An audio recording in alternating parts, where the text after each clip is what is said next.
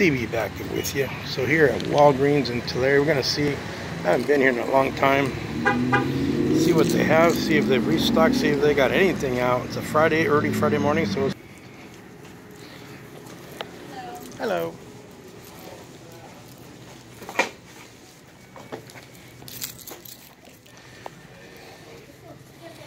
All right, let's see what they got.